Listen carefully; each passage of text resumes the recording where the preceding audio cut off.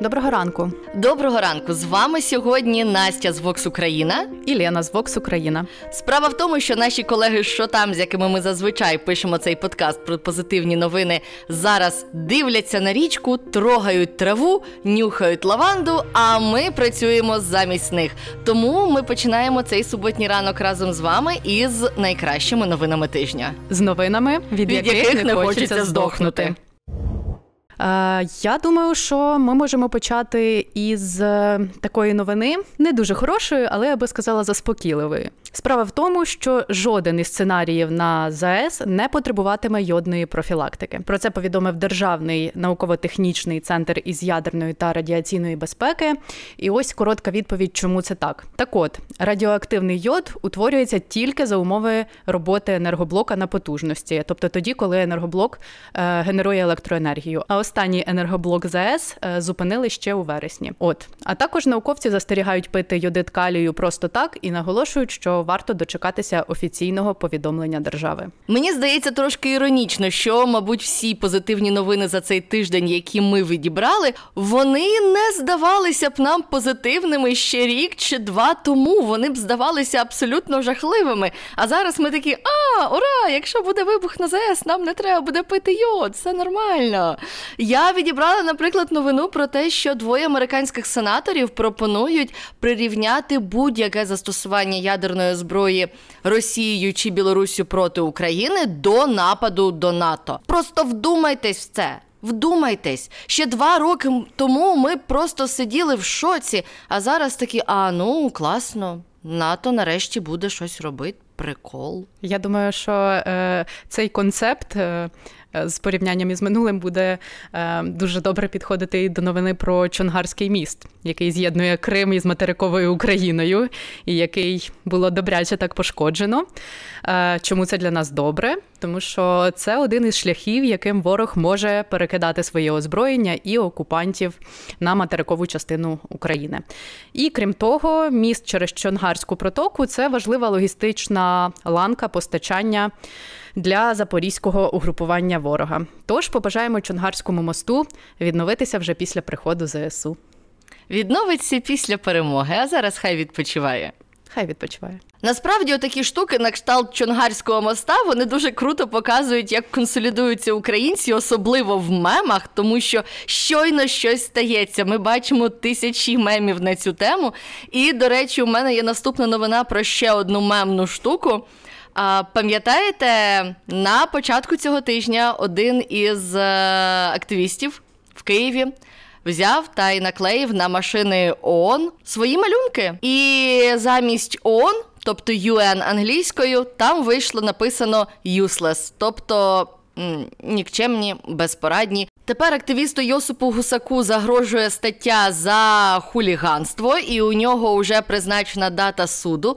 Але мене дуже радує, як українські бізнеси консолідувались навколо цієї новини, і просто у Твіттері зараз відбувається суцільний шторм, коли українські служби таксі питають, кого підвести туди безкоштовно або зі знижкою. А українські виробники якихось смаколиків запитують: агов, друзі, кому що приносити перекушувати, раптом все затягнеться надовго. Тому мені здається, що.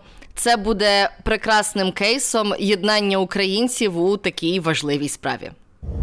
І до наступних новин я би хотіла почати із того, що Латвія передасть ЗСУ увесь увесь свій флот гелікоптерів. Прем'єр-міністр Латвії зазначив, що у їхньої країни ніколи не було ілюзій щодо Росії, за що ми їм дуже вдячні, і ми ніколи не сумнівалися в їхній позиції. І в контексті цього важливо розуміти, що Латвія витратила понад 1,3% ВВП на всі види допомоги Україні. Ну і продовжуючи тему із нашими європейськими друзями та партнерами, то Рада ЄС заявила, що вважає, що Україна виконала дві із семи умов для членства в Євросоюзі. Тут власне йдеться про судову реформу із створенням Вищої ради правосуддя та Вищої кваліфікаційної комісії суддів, а також про законодавство щодо змі в Україні. Мені здається, що ось такі заяви від Ради ЄС для нас дуже позитивні, тому що е, наша команда Вокщека, які спростували спростовують фейки, регулярно стикаються із е, пропагандою російською нині, а раніше з проросійською пропагандою всередині України про те, що нам в ЄС не треба, нас там ніхто не чекає, там чекають від нас чогось нереального і нічим воно нам не допоможе. А от ми зараз туруємо на шлях до верховенства права і сподіваюся, нарешті колись вступимо в ЄС і будемо там повноправними, крутими і дуже справедливими членами. Пам'ятаєте, як минулого року Короборонпром повідомив про розробку безпілотника, який здатен вражати цілі на відстані до тисячі кілометрів. Так от Україна вже успішно застосувала його. Загалом про безпілотник відомо мало, лише те, що він в теорії може летіти навіть далі на 1200 кілометрів і може нести до 75 кілограм корисного навантаження, і це не буде одноразовим безпілотником, адже він має функцію повернення. Хоч ми знаємо доволі мало, але бажаємо сотень і тисяч успішних застосувань цього дрона. Це прекрасна новина. Я прям сиділа, поки ти розповідала це і посміхалась, тому що я прямо уявляю ці 75 кілограмів корисного навантаження. І розумію, що це не будуть мелітопольські черешні. А скільки важить Буданов? Ми то вирішимо. Не треба. І до важливої позитивної новини цього тижня в Україні запрацював книжковий арсенал. Це величезна подія для України, мені здається, і важливо ще й те, що книжковий арсенал продовжує свою роботу навіть під час повномасштабної війни. На книжковий арсенал приходив президент України із дружиною, і навіть у своєму вечірньому зверненні Володимир Зеленський радив українцям прийти на книжковий арсенал і щось придбати. І сьогодні ми поговоримо трохи про книжкову галузь, як вона почувається і що взагалі відбувається із книгами в Україні. З нами сьогодні Ілона Замоцна, це співзасновниця видавництва Віхола. Вітаю, Ілона! Добрий день, рада вас бачити і рада, що в руках у президента на книжковому арсеналі я бачила аж дві книги вашого видавництва. Розкажіть нам, будь ласка, коротко, що це були за книги. Це така весела подія вчора сталася. Чому весела? Тому що крім того, що дякуючи Збройним силам України, книжковий арсенал все таки відбувається. Разом з тим на арсеналі президент придбав дві наших книжки. Перша це була книжка Максима Яковля теорії змов, і е, тут багато є таких приводів пожартувати, чому президент купив саме цю книжку. А друга книжка це ще смішніша ситуація, тому що називається вона е, Коли я нарешті висплюся е, авторок Ніки Бєльської і Ольги. Маслової. Також щодо цієї другої книжки, коли я нарешті висплюся, зараз весь е, Фейсбук рясніє, всі соцмережі рясніють жартами про те, що після перемоги або я він ніколи не виспиться, і щось на зв'язок такого. Ну, за зовнішнім виглядом президента ми можемо зрозуміти, що, мабуть, він не досипає, але у мене є ще одна приємна згадка про ці книги з приводу нашої організації, тому що у книзі Максима Яковлєва про теорії змови є згадка нашого проєкту Вокщек, який власне розвінчує, зокрема, теорії змови. Так, е, це книжка, яка багато всього розвінчує, і от на презентаціях, наприклад, Максим Яковлів дуже часто говорить, тому що ми е, багато уявляємо, що на сьогоднішній момент ми не підвладні, ми маємо великий доступ до інформації, і тому ніякі теорії змов нам не страшні, адже ми можемо будь-що перевірити. Насправді ні, і навіть в цій книжці наведені такі публічні ситуації, коли люди доволі е, високого рангу, де все перевіряється, все одно підпадають під теорії змов. Тому дуже рекомендую. Як взагалі зараз почувається українська книжкова галузь під час війни? От на прикладі вашого видавництва, ви зараз шукаєте нових авторів, шукаєте нові книги. Чи є якийсь взагалі розвиток? Так, е, розвиток є. Зважаючи на те, що президент зробив ще один подарунок книжковій галузі. Він підписав закон про заборону е, ввезення і продажу російських книжок. І разом з тим, е, з початку вторгнення книжки не ввозяться, тому книжкова галузь українська розвивається. Зрозуміло, що це не такими темпами, як би хотілося, але. Ем, книжки друкуються, книжки з'являються, з'являються нові книжкові видавництва, з'являється конкуренція. Ми видавництво, яке спеціалізується на українських авторах.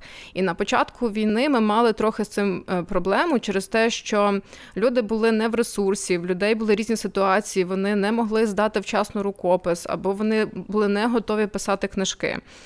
Е, через те, що вже час минув, е, ми звикли, незважаючи на те, що це погано, що ми звикли в цьому жити, але на жаль, ми звикли. І люди повертаються до того, що так, вони готові писати книжки, тому ми активно шукаємо авторів, ми активно е, звертаємося до різних людей, які займаються певними тематиками для того, щоб вони написали нам книжки, і багато з них на це погоджуються. Я от зараз підозрюю, що десь в коментарях з'являться люди і запитають: а чому власне заборона на ввезення російських книжок це добре? От, типу, спочатку надрукуйте українською, а потім щось забороняйте. Можете так дуже просто пояснити, чому для української книжкової галузі круто, що тепер не можна буде ввозити російські книги? Тому що насамперед це цінова політика. Книжки українською дуже часто були дорожчі, тому що вони друкуються меншими тиражами, ніж книжки російською мовою. І навіть незважаючи на те, що їх завозили, тобто додається логістика, додається ПДВ, від якого звільнене українське книговидання, все одно доволі часто аналоги е, перекладних книжок коштували російською мовою дешевше, ніж видані в Україні українською, тому що український видавець він вкладається в переклад, він вкладається в підготовку книжки до друку, так само, як і російський видавець. Але при тиражі, наприклад, в Росії 30 тисяч штук, а в Україні 5 тисяч штук. Е, зрозуміло, що ціна цієї книжки різна. Тому насамперед це цінова політика, це те, що якщо є аналоги, це стосується насамперед не українських авторів, е, а це стосується перекладних книжок. Перекладні книжки вони е, дуже сильно впливали на те, що якщо ти в Україні перекладаєш українською мовою, ти в це інвестуєш свої свої гроші, е, то е, російська книжка вона просто з'їдає твій прибуток. І надалі це стає невигідно просто це робити. Ти просто бачиш, якщо, наприклад, ця книжка вже є на ринку російською, український видавець в це не вкладається. Я, до речі, помітила одного разу, що російські переклади були навіть дешевші за оригінали англійською мовою, тому що я колись шукала собі книгу одного шеф-кухаря Йотама Оттоленгі, його книга Flavour коштувала в оригіналі на українському ринку близько півтори тисячі гривень, і 600 гривень коштувала ця ж книжка російською. Ви знаєте, ви дуже добре зауважили, тому що власне кулінарні книжки, подарункові книжки. Якщо е, хто цікавиться такою тематикою, міг би помітити, що до цього часу на українському ринку е, таких книжок українською було дуже мало. Переважно це були книжки або російською, або англійською, оскільки такі книжки вони потребують великих інвестицій, наприклад, купівлі прав, інвестицій в переклад. Це дорогий друк, тому що це кольорова поліграфія. І тому український видавець він просто не міг собі дозволити. Він розумів, якщо на ринку буде от книжка, ви кажете, російською за 600 гривень, а він виставить свою книжку за тисячу гривень. Українською він буде як мінімум не конкурентний з цим. Крім того, що це не секрет, що багато в Україні є російськомовних людей, які просто будуть надавати книгу е, росі... Е, надавати перевагу книзі російською мовою. Тому е, оця галузь дуже яскраво показує, чому англійською вона була дорожча, тому що е, за кордоном в Європі, е, за тим кордоном, що в Європу, там в принципі коштують книжки дорожче, ніж в Україні, ніж в Росії. Там ця галузь на набагато вищого рівня, і книжка коштує в середньому паперова, друкована, не кольорова від 10 євро в магазині. В Україні, коли закордонні видавці приїжджають в Україні і чують ціни на українські книжки, вони дивуються дивуються, як українські видавці в принципі виживають, тому що це дуже низькі ціни і дуже низькі націнки на цьому бізнесі. Е, ми крутимося як можемо, що можу сказати. Тому е, книжки, відповідно, ввезені звідти англійською мовою, вони будуть коштувати дуже дорого, тому що, крім того, вони обкладаються податком на додану вартість, від чого звільнені книжки е, видані в Україні. Книжки ж з Росії, вони, як я казала, вони тому коштують дешевше, тому що їх друкують великим тиражем і розповсюджують на всі колишні чи колишні країни, де залишилося багато російськомовних людей. Ну і я з свого досвіду скажу, що російські друковані книжки, принаймні ті, що я бачила, вони були значно гірше надруковані, ніж їхні оригінали. Там був тонший папір, не така яскрава фарба. І так як я затарююсь в основному саме красивими кулінарними книгами, це дуже помітно, коли ти не бачиш правильного кольору фісташки або правильного кольору черешні. І от можу ще додати, що цей закон, який зараз підписали, він власне дасть ту можливість українському видавцеві бути впевненим в тому, що аналога російською мовою дешевшого на ринку не з'явиться, і тому ти будеш впевненим в тому, що твої інвестиції можуть окупитися. Що взагалі може робити пересічний український громадянин, окрім купівлі україномовних книжок, для того, щоб допомогти розвиватися українській книжковій галузі? Е, зрозуміло, що попит формує пропозицію, і ми будемо, як видавці, старатися вивчати попит. Але крім того, я би е, рекомендувала всім тим україн... україномовним, е, тим, хто читає українською, і хто спілкується з друзями, зі знайомими, з родичами, які кажуть, я ніколи не читав українською, і я не зможу ніколи читати українською, пробувати. Це не так складно, як їм здається, тому що багато людей, особливо старшого покоління, вони прямо впадають в паніку, що ми будемо робити. Якщо не буде е, книжок на ринку російською, то ми нам не буде просто що читати. Ще що може робити український читач, це не скачувати піратські версії, а купувати електронні книжки. Це дуже важливо. В нас не розвинута ця галузь е, купівлі електронної та аудіокнижок. Е, більшість людей, хто читає, це зрозуміло, що ті, хто багато скачують з інтернету, це переважно люди, які багато читають, і це художня література.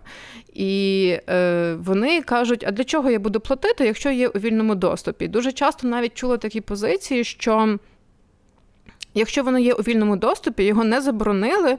Видавництво нічого не зробило з тим, щоб це боротися, щоб це заборонити, щоб е, побороти оцю піратську версію. То чому я візьму тоді безкоштовну версію? Якби не було доступу, може би я і купив.